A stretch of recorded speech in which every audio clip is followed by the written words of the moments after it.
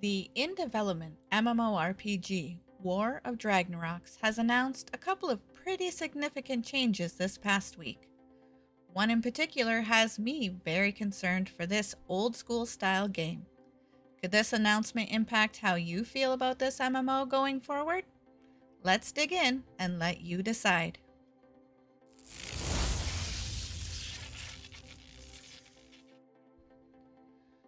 On July 10th, Triune Studios sent out an email announcing their new name change, going from War of Dragnorox to Eternal Tombs. I heard previously that they had been considering a name change, so I wasn't too surprised. But what was surprising was the reason they gave for doing the name change now. Let's dive into the email and break it down. War of Dragnarok started out as a tab targeted based game that featured slow moving combat very similar to games of the past. This is true as stated in their game announcement trailer in 2022. Um, in terms of actual gameplay with War of Dragnorox, we're, we're trying to capture the feeling of old hardcore MMORPGs like EverQuest, Dark Age of Camelot, Ultima Online, War of the Rings Online, those tab target style games with um, adding awesome new abilities, interesting dynamic gameplay, and all all while pushing the MMO genre forward. The email goes on to state As we continued in our development, we discovered that without having that nostalgic feeling of a game we've played for 20 plus years, the combat was just incredibly arduous and boring. We took an incredibly hard look internally and started revamping everything. End quote.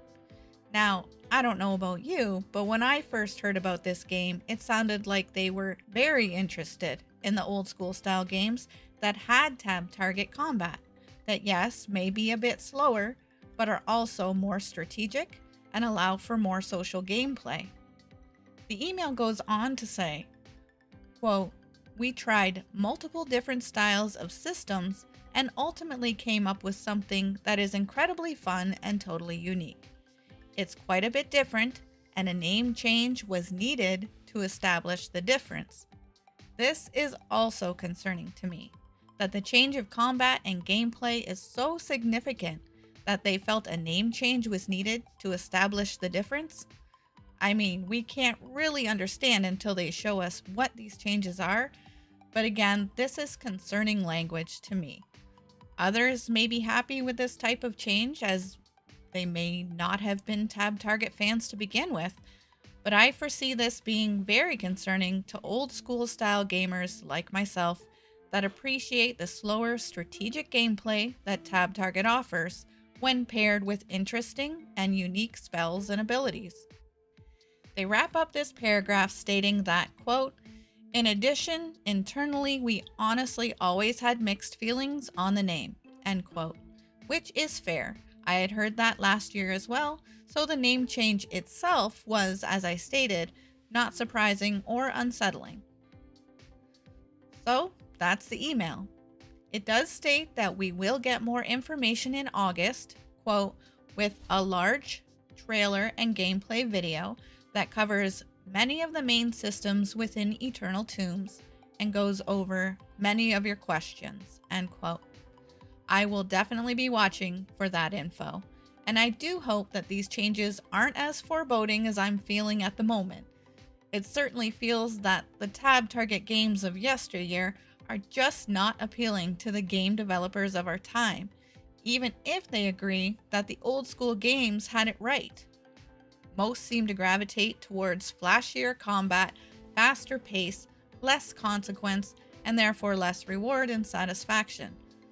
This seems to contradict what Eternal Tombs started out as, and hopefully, my concerns are all for nothing.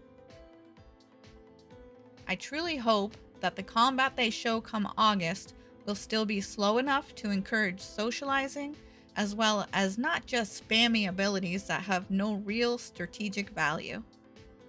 Let me know down in the comments what your take on this news is. I'll try to stay optimistic that these game changing design decisions won't detract from the old school style of gameplay it was originally going for, until we hear more in August. If you'd like to hear more on why I think slower combat in MMORPGs is a good thing, check out my video, 5 Benefits of Slower Paced MMOs. Take care, and thanks for watching.